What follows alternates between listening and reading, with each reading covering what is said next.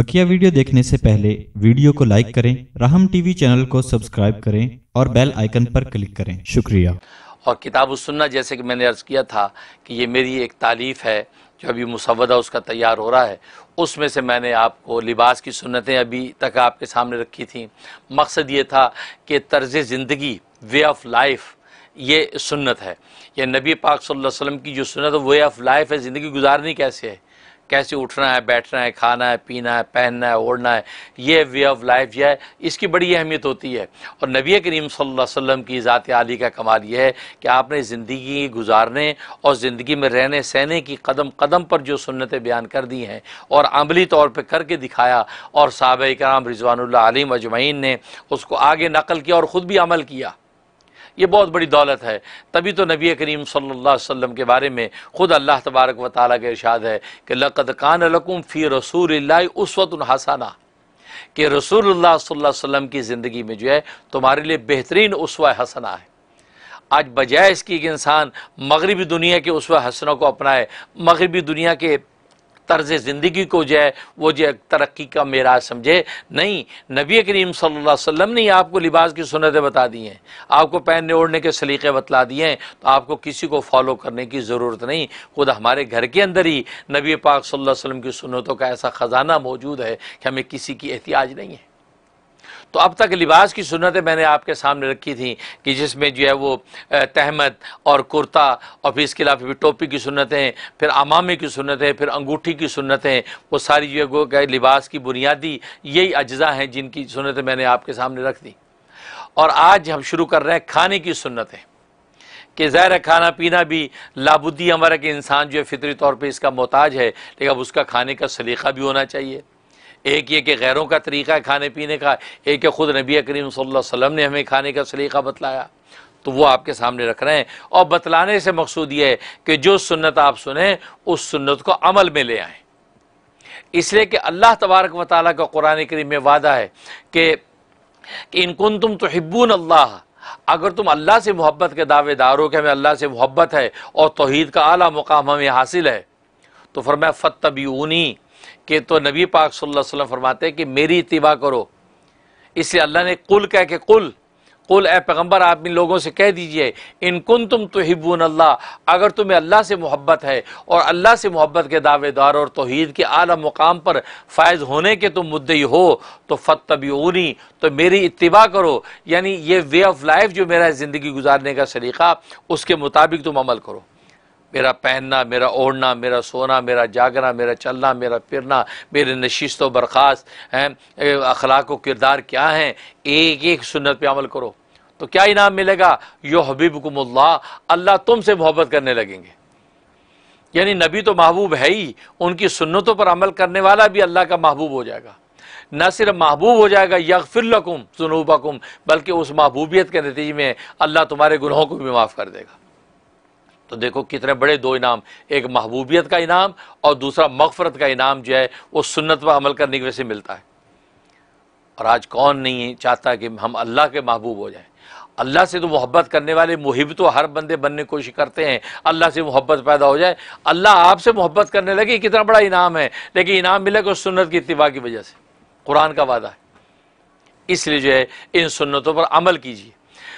तो यार किताब तस्किया का यह बाब खाने के बारे में नबी अकरम सल्लल्लाहु अलैहि वसल्लम का उसव हसना, ये उनवान है। अब आगे, जन्नत की नेमतों में से एक नेमत खाना पीना भी है, जो दुनिया में उतारी गई, जिससे इंसान न सिर्फ़ लज्जत हासिल करता है, बल्कि खा पी कर अपनी ज़िंदगी को भी बाकी रखता है। ना सिर्फ़ लज्जत आती खाने पीने से, बल्कि ज़िंदगी भी बाकी रहती है। और एक मोमिन सादिक इससे क़वत हासिल करके उसको अल्लाह की इबादत और खल खुदा की खिदमत में सर्फ करता है। तो मोमिन सादिक जब खाता है तो उस क़वत से अल्लाह की इबादत भी करता है और खल खुदा की मखलूक इलाही की जो खिदमत भी करता है।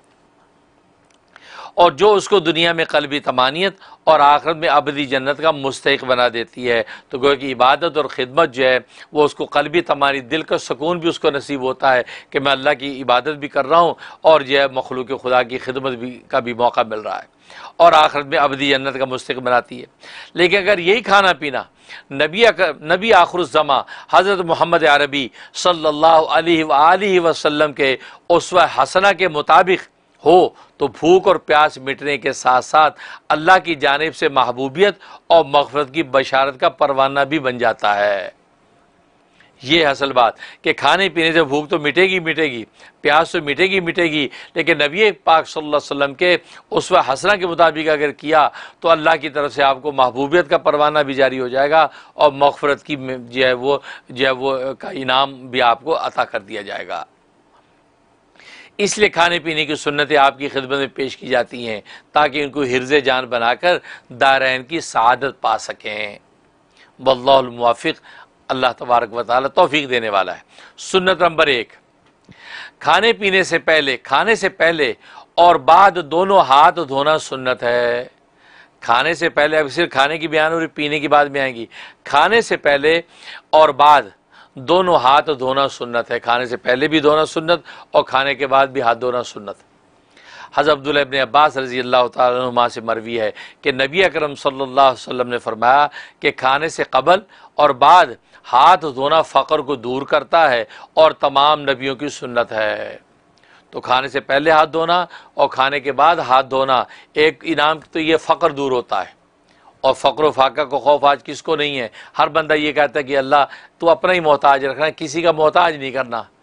तो किसी के ना मोहताज होने का मतलब ये है कि आपको फ़क्र फाका ना आए तो आप खाने से पहले बाद हाथ धोने का अहतमाम करें। और फिर ये तमाम नबियों की भी सुन्नत है कि नबी भी खाने से पहले भी हाथ धोते थे और बाद में भी हाथ धोते थे। और आजकल जो है, क्योंकि आप जानते हैं नैपकिन का और टिश्यू पेपर का ये दौर आ गया है। खाने से पहले तो हाथ धो लेते हैं, बस औकात। लेकिन खाने के बाद जो है, लोग वो टिश्यू पेपर से साफ़ कर लेना काफ़ी समझते हैं। नैपकिन है जी नैपकिन से साफ़ कर लिया जी, हाथ धुल गए बेशक वो मकसद हासिल हो गया कि चिकनाई वगैरह जो ज़र्रात जो खुराक के साफ़ हो गए। लेकिन जो सुन्नत अमल है, वो पानी से हाथ धोना ही है। लिहाजा आप पहले भी हाथ धोएँ और बाद में भी हाथ धोएँ। वो अलग बात है कि फौरी मौका नहीं है। फौरी आपने नैपकिन से साफ़ करके दस पर बैठे रहे। जब उसके बाद उठे, अब पहला काम हाथ धोने का करें।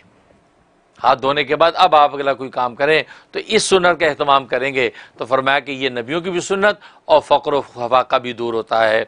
हवाला, मजमू जवायद, सफ़ा सत्ताईस, जिल्द पाँच। बहवाला शमाल कुबरा सफ़ा उनतीस, जिल्द बारह, हिस्सा अव्वल। हिस्सा अव्वल का जो है, वो जो है उनतीस सफ़ा। नीज हज़रत अनस रज़ी अल्लाह तु से मरवी है कि नबी अकरम सल्लल्लाहु अलैहि वसल्लम ने इशाद फरमाया कि जो चाहता है कि उसके घर में खैर बरकत ज़्यादा हो, उसे चाहिए कि खाना आए तो हाथ धोए, जब फारिग हो जाए तो हाथ धोए। तो नबी पाक सल्लल्लाहु अलैहि वसल्लम की गोया कि ये कौली हदीस फिर आ गई कि आप फरमाया कि खाना आए तो भी हाथ धोए और खाने फारिग हो तो भी हाथ धोए, इससे आपको खैर बरकत नसीब हो गई। हवाला। सुन इबन माजा, सफ़ा दो सौ बत्तीस, जिल्द दो। अब आगे सुनत की बरकत एक अजीब वाक़ उनवान सुन्नत की बरकत का अजीब वाक़ एक बुज़ुर्ग फरमाते हैं कि मेरे ऊपर तीन सौ रुपये का कर्ज़ था। ये तीन सौ रुपये उस ज़माने के जब तीन सौ भी एक पहाड़ होता था। ये आज के तीन सौ नहीं।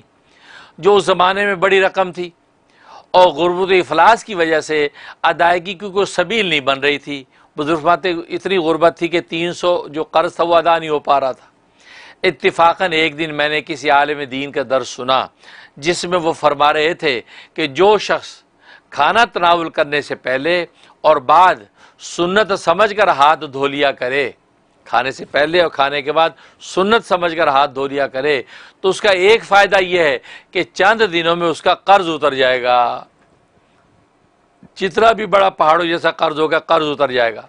लेकिन शर्त यह है कि सुन्नत समझ के, पहले भी हाथ धोए और सुन्नत समझ के बाद में हाथ धोए। चुनाचे मैंने इस पर अमल शुरू कर दिया। अभी चंद रोज़ ही ये अमल किया था कि अल्लाह के फजल करम से मेरे ज़िम्मे एक कोड़ी एक कौड़ी एक कौड़ी पैसा भी किसी की बाकी ना रही और सारा कर्ज उतर गया। अल्हम्दुलिल्लाह। अब देखिए, फरमाया कि एक कौड़ी पैसा भी मेरे ज़िम्मे नहीं रहा और सारा कर्ज चंद दिनों में उतर गया। कैसे उतरा? अल्लाह ही को खबर। तो ये है तो सबसे बड़ा फ़ायदा। और आज कितने लोग हैं कि जो कर्ज़ के बारे में रोते हैं कि ये कर्ज़ा नहीं उतर रहा, कर्ज़ा सर पे चढ़ा हुआ है। हाथ सुनने समझ के। अब ये समझ के नहीं हाथ गंदे हो रहे, लिहाजा दो लूँ। हाथ गंदे और नीयत सुन्नत की करें। क्योंकि बसों का हाथ साफ़ होते हैं। बहुत से लोगों को कहा, जी हाथ धो लीजिए। नहीं नहीं, साफ़ है जी, अभी नमाज़ पढ़ के आया हूँ। हाथ साफ़ है। ओ अच्छा जी, बैठिए। फिर नमाज़ पढ़ के आए, बेशक आप, लेकिन खाने से पहले हाथ धोना सुन्नत है। आप धो ली, भले आपको साफ़ नज़र आ रहे हैं, लेकिन धो लीजिए। आज तो मेडिकल साइंस इस नतीजे पर पहुँच गई है कि बजाय साफ़ हाथ भी जरासीम से भरे हुए होते हैं। और तरह तरह की आजकल वबाई बीमारियाँ लगी हुई हैं।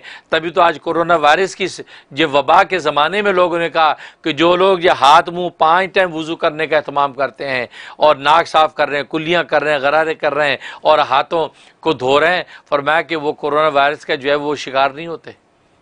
क्योंकि ये वबाई मर्ज फैलता है इसी तरीके से नाक के अंदर पाँच टाइम आप नाक साफ़ कर रहे हैं तो कहाँ जरासीम ठहरेंगे वायरस?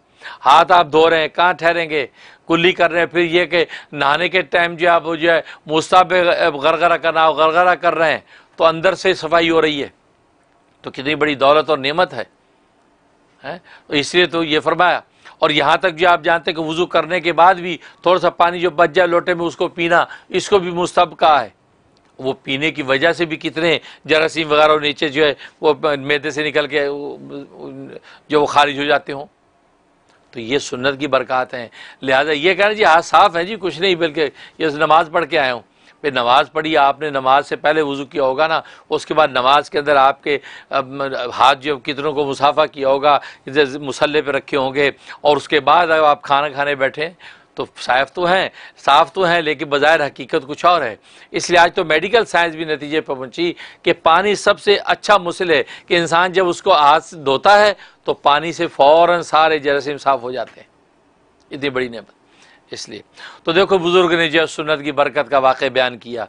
तो इसी नीयत से आप हजरात अगर जो है वो किया करेंगे तो इन जो आप पर भी किसी किस्म का कर्ज कोई कर्ज बाकी नहीं रहेगा। हवाला इस वाक़े कह दिया, उसवत सालहीन, सफ़ा नंबर नौ। सुन्नत नंबर दो। सुन्नत नंबर दो। दस्तर खान बिछा कर खाना तनावुल करना सुन्नत है। दस्तरखान बिछा कर खाना तनावल करना सुन्नत है। हज अनस रज़ी अल्लाह से मरवी है कि नबी अकरम सल्लल्लाहु अलैहि वसल्लम ने ना कभी मेज़ पर और ना तशरियों में खाना तनावल फरमाया। पूछा फिर किस पर खाते थे? कहा, दस्तरखान पर। टेबल पर मेज़ पर रख के खाना नहीं खाया और ना तशरियों में खाना खाया। फिर किस पे फरमाया? दस्तरखान पर। सही बुखारी, सफ़ा आठ सौ ग्यारह, जिल्द दो और सुनने इबन माजा। तो कहा कि दस्तरखान जो है बिछा कर जो है, वो ज़ारा ज़मीन पे बिछाया जाता है आमतौर पे तो बिछा कर जो है उस पर खाना खाया जाता है। और मैं कि ये सुन्नत। सुन्नत नंबर तीन, चमड़े का दस्तरखान सुन्नत है। दस्तरखान भी सुन्नत, फिर चमड़े का दस्तरखान सुन्नत। तो चमड़े का दस्तरखान सुन्नत है। बाद साहबा रिजवान अली मजमई से मरवी है कि नबी अकरम सल्लल्लाहु अलैहि वसल्लम का दस्तरखान चमड़े का होता था। चमड़े का दस्तरखान होता था। हवाला, उसवत सालहीन, सफ़ा नंबर नौ। चमड़े का दस्तरखान। चाचे आज अगर जो है वैसे तो नबी पाक सल्लल्लाहु अलैहि वसल्लम की, वो असल सुन्नत तो यह है कि ज़मीन पर दस्तरखान बिछा कर खाना खाया जाए। लेकिन आज ये टेबल और कुर्सी का भी रिवाज हो गया है कि टेबल पर बैठ के खाना खाते हैं लोग। तो टेबल के ऊपर जो है, चमड़े का दस्तरखान बिछा लें। कम अज़ कम इतनी सुन्नत पर तो अमल हो जाए कि चमड़े का दस्तरखान जो है, टेबल के ऊपर आपने मैट बिछाना ही होता है तो आप चमड़े का मैट बिछाएँ। तो सुन्न समझ के चमड़े का मैट बिछाएँ और कुर्सी के ऊपर जब बैठें, उसमें बाज़ ओलमा ने कहा कि उसमें हैत तब्दील कर लें। हैत तब्दील का मतलब एक तो एक दोनों टांगे और जूते पहने हुए और आप इस तरीके से खाना खा रहे हैं। ये तो गोया कि टू व टू कापी मगरबी दुनिया की वेस्टर्न वर्ल्ड की हो गई। लेकिन उसका तरीका ये है कि फरमाया कि जूते उतार दें, उतार के एक जो है पाँव कुर्सी को ऊपर रख लें। एक पाँव कुर्सी को ऊपर रख लें, एक पाँव भले लटका लें तो हैत तब्दील कर लें। जो बिल्कुल वैश्व वर्ड की जो हैत उसको थोड़ी तब्दील कर लें तो मेज़ कुर्सी पर बैठना जो है, अकरब सुन्ना हो जाता है। जब अकरब सुन्ना हो जाता तो ज़्यादा बेहतर है। तो जो जितना ज़्यादा करीब करीब कोशिश हो तो अच्छा है। तो ये करें। तो फरमाया तो चमड़े का दस्तरखान सुन्नत है। बाद साहबा से मरवी है कि नबी अलैहि वसल्लम का दस्तरखान चमड़े का होता था। उस वक्त सालीन सफ़ा नंबर नौ। लिखा है हज़रत ईसा सलाम पर जो मायदा ताम जन्नत से भरपूर आसमान से नाजिल हुआ था, वो सुर्ख चमड़े का दस्तरखान था। यानी अल्लाह तबारक व आसमानों से मायदा, जो सूरत मायदा जिसके नाम पे, और मायदा खाने से भरा हुआ दस्तर खान, वो जो चमड़े का दस्तर खान जो उतरा था खाने जन्नत के लेके, वो दस्तर खान भी चमड़े का था, और सुरख रंग का चमड़ा था। सुरख चमड़ा।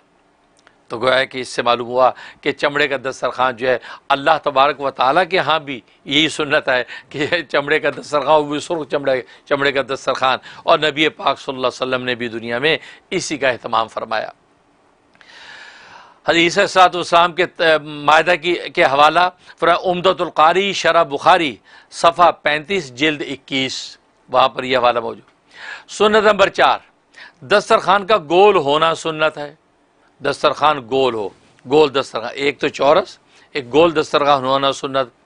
बाद साहब कराम रिजवान मजमैन से मरवी है कि नबी अकरम सल्लल्लाहु अलैहि का दस्तरखान चमड़े का होता था और गोल होता था।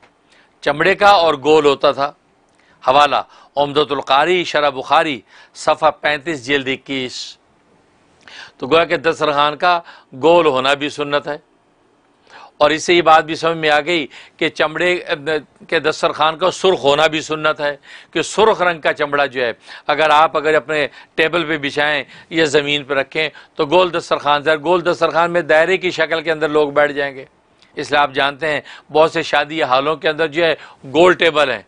और गोल टेबल का फ़ायदा क्या है? देखो तो कितने ज़्यादा से ज़्यादा लोग उसके अंदर एडजस्ट हो जाते हैं। एक टेबल पर दस आदमी बैठे होते हैं। तो गोल टेबल। तो और इसी उस पर दस्तरखान जो बिछाएँ, वो चमड़े का बिछाएँ और सुर्ख रंग के चमड़े का बिछाएँ तो सुबह अल्लाह तो देखो नबी पाक सल्लल्लाहु अलैहि वसल्लम की कितनी नफीस सुन्नत। सुन्नत नंबर पाँच दस्तरखान को ज़मीन पर बिछाना सुन्नत है। एक तो दस्तरखान बिछाना सुन्नत, फिर जो है वो चमड़े का दस्तरखान बिछाना सुन्नत, फिर चमड़े का सुर्ख होना सुन्नत, और फिर जो है इसी तरीके से है वो चमड़े दस्तरखान को गोल होना सुन्नत, और आप बता रहे हैं कि दस्तरखान को ज़मीन पर बिछाना सुन्नत। अनस रज़ी अल्लाह तु से मरवी है कि नबी अकरम सल्लल्लाहु अलैहि वसल्लम ने मेज़ पर कभी खाना तनावल नहीं फरमाया। नीज़ फरमाते हैं कि, आ हज़रत सल्लल्लाहु अलैहि वसल्लम की आदत तय्यबा थी कि आप सवारियों पर किसी के भी पीछे बैठ जाते थे सवारियों पर किसी के भी पीछे बैठ जाते थे। यानी कोई आपको इससे कोई आर नहीं थी कि वो आगे मैं पीछे बैठा किसी पीछे बैठ जाते थे। आपके खाने का दस्तरखान ज़मीन पर रखा जाता था। असल में ये बात बताना चाहते हैं लंबी हदीस का ये हिस्सा। खा, आपके खाने का दस्तरखान ज़मीन पर रखा जाता था। आप ग़ुलामों की भी दावत कबूल कर लेते और गधे पर भी सवार हो जाते थे। ग़ुलामों की दावत ज़ाहिर है कि बड़े नखवत वाले लोग नहीं कबूल करते। लेकिन नबी पाक सल्लल्लाहु अलैहि वसल्लम जो है, ऐसा बेताज बादशाह ऐसा बेताज बादशाह कि जिसकी कोई नज़ीर नहीं, फरमाया कि ग़ुलामों की दावत कबूल कर लेते थे और गधे पर सवार हो जाते थे। अब गधे पर सवार हो हो जाना उस ज़माने में आर समझा जाता होगा। तो फरमाया कि आप जो गधे पर भी सवार हो जाते थे। ये पाकिज़ा आदात आप वसल्लम की की इंतहाई आजिज़ी की खबर देती हैं कि आप इंतहाई आजिज़ थे। नीज़ हज़रत बरा इबन आजिब रज़ी अल्लाह से मरवी है कि नबी अकरम सल्लल्लाहु अलैहि वसल्लम ज़मीन पर खाना खाते थे। तो ज़मीन पर दस्तरखान बिछा के, ज़मीन पर बैठ के खाना खाते थे। हवाला सीरत सालहीन, सफ़ा दो सौ सड़सठ, जिल्द सात, बहवाला शमाल कुबरा। नोट, चूँकि नबी करम वसल्लम ने मेज़ कुर्सी पर बैठ कर कभी खाना तनावुल नहीं फरमाया, बल्कि ज़मीन पर दस्तरखान बिछाया बिछाया जाता था और उस पर आप खाना तनावुल फरमाते थे इसलिए फरमाते थे, इसका हवाला, नबवी लैलो नहार, सफ़ा चार सौ चार, नबवी लैलो नहार, सफ़ा चार सौ चार। इसलिए असल तो यही है कि ज़मीन पर दस्तरखान बिछा कर खाना तनावुल करना सुन्नत है। हवाला, तरगीब व तरहीब, सफ़ा एक सौ बावन जिल्द तीन। तो गोया कि असल सुन्नत तो यही है कि ज़मीन पर जो है दस्तरखान बिछा कर खाना खाया जाए, लेकिन अगर जो है को मजबूरी आज के दौर के हिसाब से उसके बारे में आगे लिखा जा रहा है। लेकिन आजकल के दौर में मेज़ कुर्सी पर बैठ कर खाने का रिवाज इस कदर आम हो गया है कि अच्छा खासा दीनदार और मुतब सुन्नत शख्स भी दावत तकरीब में जाकर बेबस हो जाता है। ज़ाहिर दावत तकरीब में जो मेज़ कुर्सियाँ लगी हुई हैं। शादी हॉल हैं, तकरीबात हैं, फ़ंक्शन, पार्टी हॉल्स हैं, उसमें मेज़ कुर्सियाँ लगी हुई हैं। चुनाचे ऐसी सूरत में कुर्सी पर कम अज़ कम एक पाँव रख कर खाना तनावुल करे, जैसे मैंने पहले बताया हैत बदल दें। अब ये पाँव उठा के कुर्सी के ऊपर रख लें, या ये कुर्सी के ऊपर आलती पालती मार के बैठ जाएँ, या इस तरह आलती पालती मार लें कि एक घुटना मोड़ लें, एक को नीचे लटका लें तो कोई भी ऐसी है ये जो है, आप तब्दील करके बैठ जाएँ और टेबल के साथ आगे लग के बैठ जाएँ तो गोया कि वो अकरबिल सुन्ना ये कैफियत हो जाएगी। सुन्नत नंबर छः दायां घुटना खड़ा करके और बायां पाँव बिछाकर उस पर बैठकर खाना, तनावल करना सुन्नत है। अब देखो दाएँ घुटना खड़ा किया और बायां पाँव बिछाकर उस पर बैठ गए, हैं। जैसे आप तशौद में बैठते हैं, लेकिन तशौद में इस तरह बैठे कि सीधा घुटना आप खड़ा कर दें और उल्टा उसी तरह बिछाए रखें, ये हैत तो बैठकर खाना तनावल करना सुन्नत है। तो गोया कि सुन्नत जो तरतीब है बैठने की हैत कज़ाई, उसमें एक तरतीब यह है। और हवाला सुनन इबन माजा। सुन्नत नंबर सात।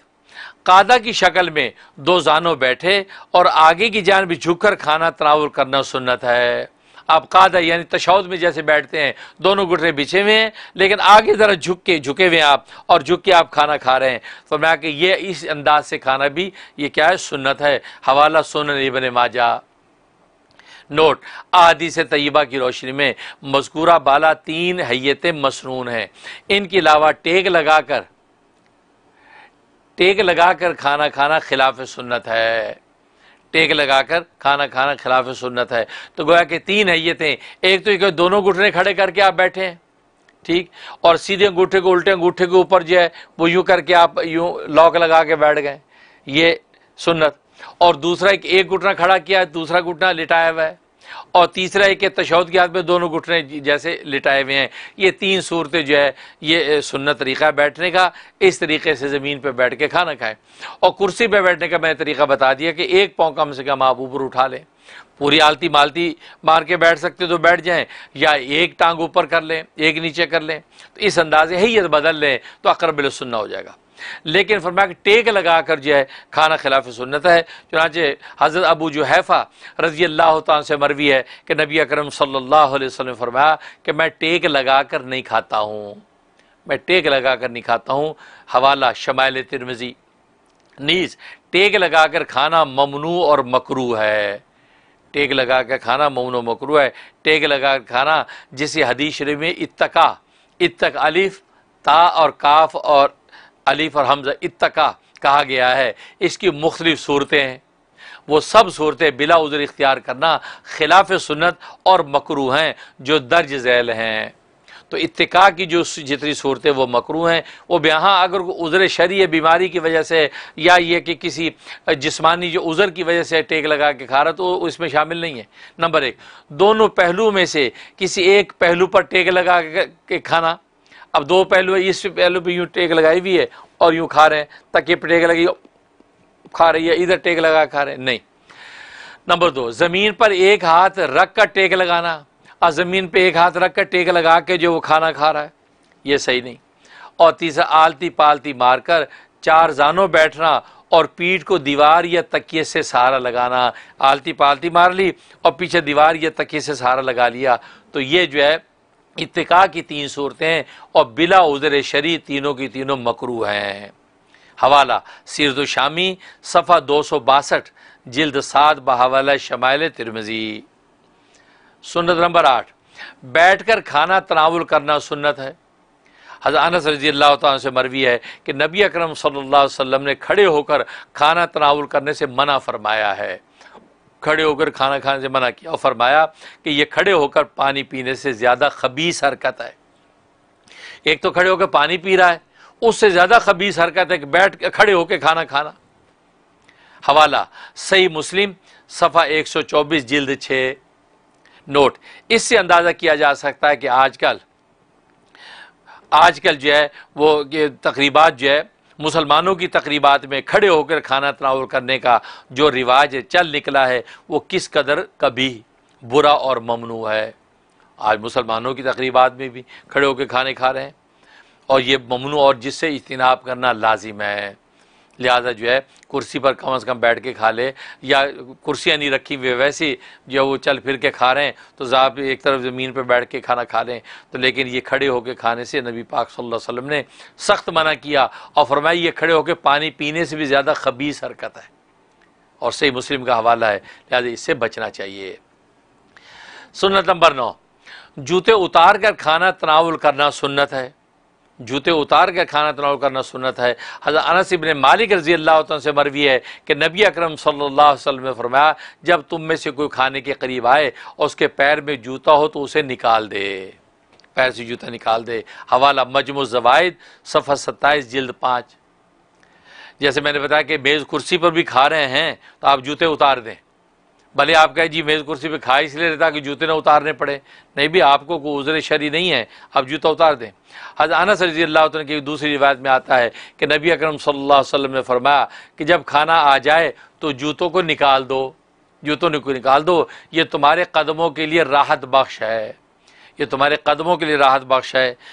हवाला मुस्ंद दारमी, कंजुल सफ़ा एक सौ बहत्तर, जल्द उन्नीस।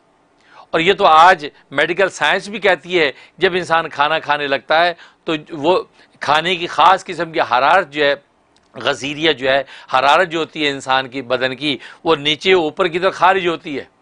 लिहाजा ज़मीन, पाँव के अंदर जूते पहने हुए हैं तो खरूज जो होगा, हरारत को, उसके अंदर दुशारी होती है, क्योंकि खाने की वजह से बदन में हरारत आ रही है।